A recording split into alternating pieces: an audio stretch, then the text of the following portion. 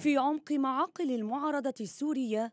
ما زال الجيش النظامي السوري يواصل زحفه لا سيما بعدما انتزع السيطرة على 60% من شرق حلب من أيدي مقاتلي المعارضة في أحدث مراحل حملته لاستعادة السيطرة على حلب بالكامل.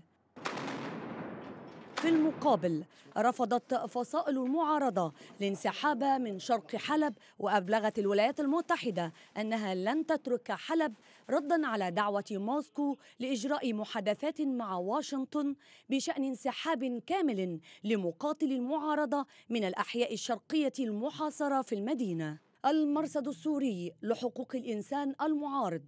أوضح أن هناك معارك عنيفة بين الطرفين تتركز في حي الميسر في شرق حلب تزامنا مع استمرار الاشتباكات على أطراف أحياء الجزمات وكرم الطراب وطريق الباب التي تمكنت قوات النظام من السيطرة عليها.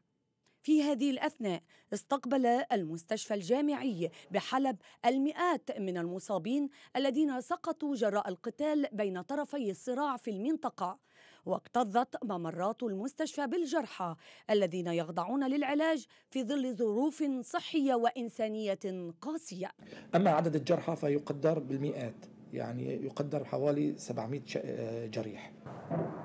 وفي الوقت الذي تسعى فيه قوات النظام للتقدم والسيطرة على حي الشعار والأحياء المحيطة بهدف دفع الفصائل المقاتلة إلى الانسحاب بشكل كامل إلى جنوب الأحياء الشرقية دعت القيادة العامة للجيش السوري في بيان لها سكان الأحياء الشمالية الشرقية لمدينة حلب للعودة إلى منازلهم بعد إعادة الأمن والاستقرار إلى تلك الأحياء وأعلنت أن مؤسسات الدولة باشرت بإعادة تأهيلها.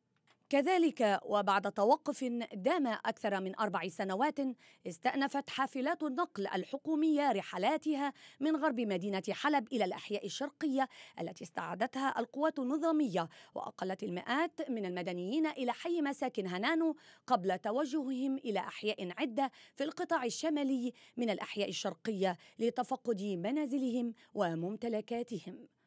وبينما أعلنت روسيا إرسالها قافلة تضم أكثر من 30 شاحنة محملة بالمساعدة الإنسانية إلى مدينة حلب أبدى المبعوث الدولي إلى سوريا ستيفان دي مستورا تخوفه من أن حلب ربما ستشهد معركة رهيبة تنتهي مع أعياد الميلاد ورأس السنة معربا في الوقت نفسه عن أمله في أن يكون هناك صيغة ما لمنع حصولها مشيرا إلى لقائه المرتقب مع الرئيس الأمريكي المنتخب دونالد ترامب من أجل بحث الأزمة السورية.